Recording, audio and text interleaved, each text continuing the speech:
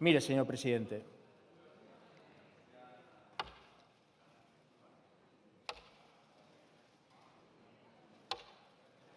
¿sabe qué son?